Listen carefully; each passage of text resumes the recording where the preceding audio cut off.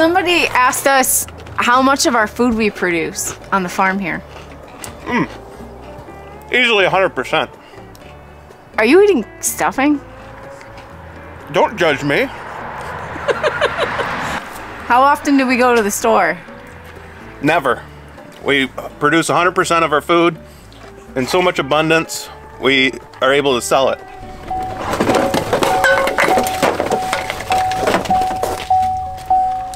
Mike, what are all those boxes for?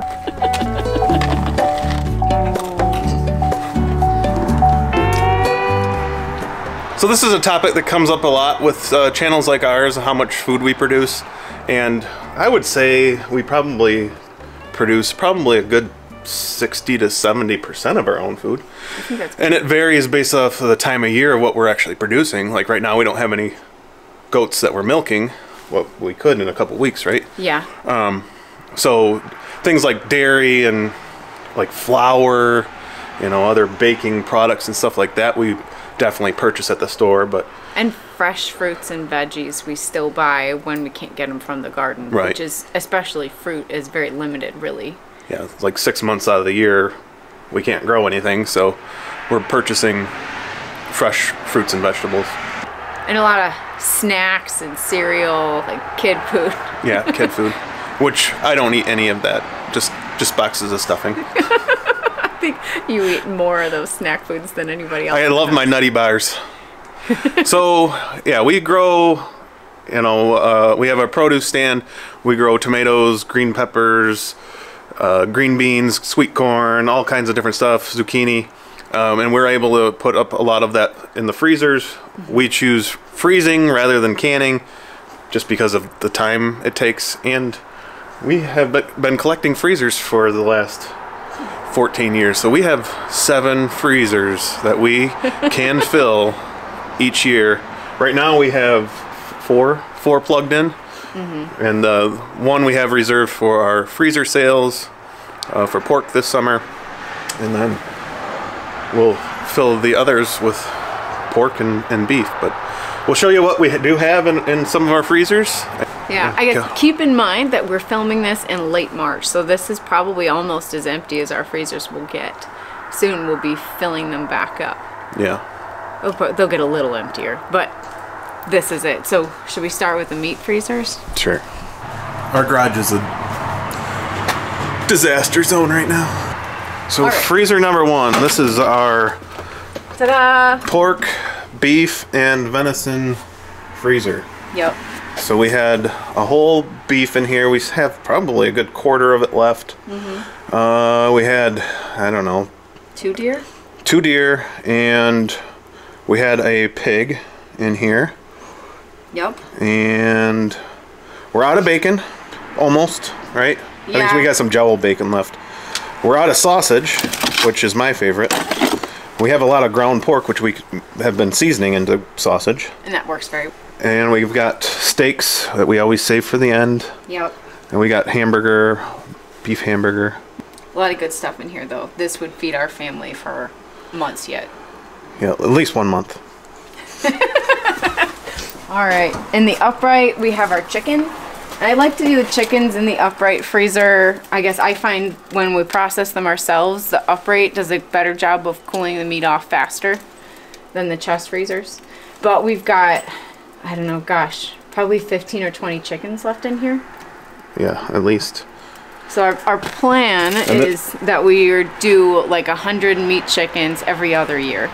And that's usually enough. well and we s- sell 50 and we keep 50 Yep. We mentioned this before we don't eat nearly as much chicken as we used to since we raise beef and pork One thing we do a lot of though is when um, when we butcher the chickens, we save all the backs and necks and stuff and make chicken broth, and uh, it's really good. So I usually have lots of chicken broth in the freezer as well. And you can buy, if you didn't know, Ball makes freezer safe canning jars. So you can't use just any jar. Trust me, I've tried it. Get the freezer safe ones. And I can put these frozen jars right in my microwave to thaw them out and they don't crack or anything. They're really tough. And again, we have no nothing against home canning people. we just don't have time. We used to before we, used had to. kids. Yeah, I I got frustrated and fed up with it, and freezing saves us so much time. We're able to get a lot more in. And we are not afraid of a little bit of freezer condensation burn. We can make that into a jelly or feed it to the kids and Yeah, smoothies. We're gonna put ice in it anyways. Um, so this is this freezer is veggies from our garden. So we got lots of corn, tomatoes, squash, tomato puree. strawberries. We picked at a neighboring farm. But I've also got like waste Bags of broccoli, and Broccoli. cauliflower. There's peaches from 2020. Those aren't looking great, but that might be pig, pig fodder. Yeah, I clean them out once a year, believe it or not. Um, and then I also have like our prepared stuff. So like spaghetti sauce I make with our tomatoes, and I just freeze the leftovers. So it's got beef in it, and it's all ready to go. I make meat sauce like for enchiladas. That's delicious. Link to the video in the description. Oh yeah, Kelsey's famous meat sauce. I started making pesto um, with our basil. A customer at our farm stand brought us some pesto once, and it was so good. I had to start making my own.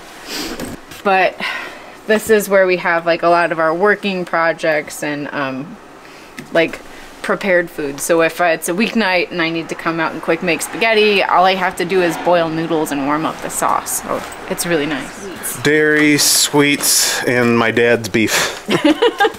Well, apart from your dad's beef, this is my favorite freezer, and I think I have the most work put into this one of all the freezers. We have goat's milk that I collected last year and froze for making soap for the family.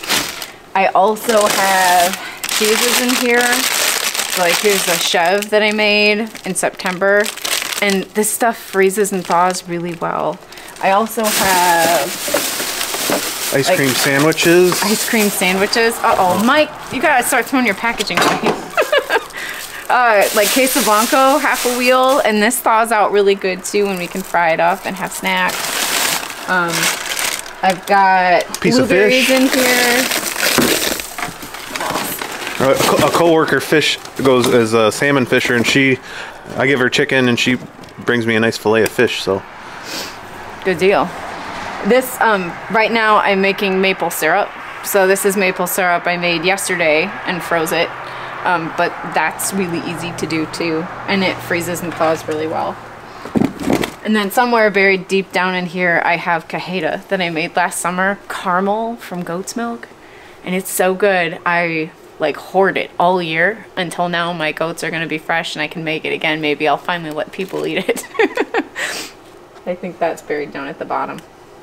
So I tried to organize our freezers based on like the content so it's easy to find stuff. So beef and pork often have their own freezers. Chicken gets its own freezer. Veggies and like dinner items go in one spot and then this is dairy and sweets over here and apparently my father-in-law's beef. yeah. The cost to run these chest freezers is very minimal. Yeah, the energy saver or whatever those stickers that come, I think it averages out to about fifty dollars a freezer for a year to run run. So overall, it's not really all that bad. I would- And, and if the power does go out, these freezers are good for at least 48 hours before we would really need to put a generator on them. And where we live, we've had the power go out maybe two or three times, and usually it's within 12 hours the power's back on. I think the longest it's ever gone out was maybe 48 hours. So we we're not really concerned about our food spoiling because of that. I've actually got a generator right there. Um, if we need to plug in the freezers, if the power goes out, then we have that. I found the cajeta. Oh. Looks like chili. it does look like chili. Mm. But we also have a root cellar, so we'll go show you the root cellar. Yeah. And he did not close the door the last time. All right, so this is our root cellar in our basement of the barn. And it has not been upkept by me or anyone, but it does work. Yeah. We had about 16 bushels of potatoes, and I would say we have about 15 bushels of potatoes. I think we can sell more potatoes next year. We could probably sell seed potatoes this year. So uh, yeah, they they it is the end of March, and they are holding up just fine. There are a few that are starting to get little sprouts, but they will easily last another month just fine. And the ones that sprout out, we well any of these we can plant, and I'll won't have to buy any seed potatoes this year. Yeah. But it hasn't been cold, a cold winter, but I do either well I put them right on the sand, and then I just throw a piece of one inch insulation over the top of them. When it gets really cold, sometimes if I don't do this, the potatoes will freeze. So that's why I have the one inch foam on top that keep, just keeps the uh, frost from hitting them. And if I spent some money and finished this off better with some better insulation, I wouldn't have to do that at all. We usually put squashes down here too at the end of fall, um, And they rot and they rot. Yeah. because we forget about them. well, we do. Yeah, they, they keep they keep just fine for quite a long time, but we forget about them, and then this time of year we find skeletons of squashes. I feel like this is something we're underutilizing. Eventually, maybe this will be the year we finally get like lots of apples that are in good shape. I'd love to try and store apples down here. The apples we got last year, we had, I don't know, maybe two bushels of apples. And they were fine, but there were a lot of imperfect ones. I was afraid to put them down here. Back to the potatoes. Any potatoes that we don't plant, we'll feed to the cows. Cows love potatoes. Yeah. Okay, when we bought the house, this barn was packed full of junk. Actually, much like it is now. Um, but just all kinds of metal pieces and things like that. And we didn't know that there was a root cellar here. And there was actually a trap door that folded over the top of that entranceway. So we have the, the goats over there on that side. But there was a, a door that folded down over the top of this and we did not know it was there until we started cleaning it out and we found this trap door. Well, I happened to be on the phone with Mike. I wasn't even here, but Mike and his brother were in the barn cleaning it out, and uh, all of a sudden uh, I hear Mike and his brother say, "Oh my gosh!" Like, what is it? And I can tell they're really like, I couldn't tell if like something had fallen and somebody had gotten hurt or like what was up, and they hung up on me. so I had to wait to find out.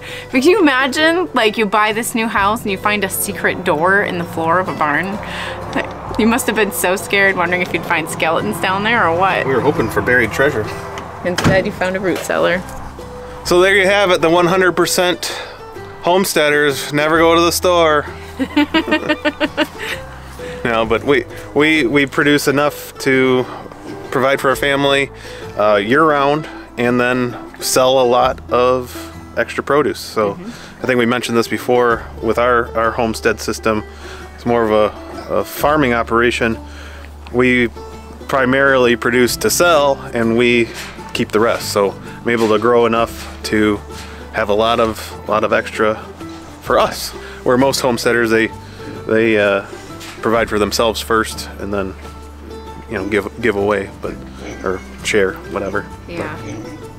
So we're a little bit different than than most, but our intent is for the farm to hopefully pay for itself and uh, provide for us as well. Yeah. Well, and our community. Where we live, um, like we have the big box grocery stores, but it's hard to find, like, you can't go buy purple potatoes anywhere around us, but you can buy them. You can buy them here our at farm. Sweetbriar Farm. There you go. And we should mention that we're not um, non-GMO, we're not uh, organic farmers. Well, I should say we, we use very minimal pesticides because I do have the bees. I mentioned this before with squash bugs. I have to spray my squash plants. Otherwise, I can lose them within a matter of, of a day. I can have my tiny little seedlings just gone out in the field. Um, so I spray those, but I spot spray. I'm not broadcast spraying the whole field now with the abundance of manure that we have, I don't even need to buy fertilizer. So um, we're not organic uh, certified. We do the best we can to grow in a clean, healthy fashion. All right, well, that's our, our food stocks. All right, guys. Thanks for watching. We'll see you on the next one. Are you eating stuffing?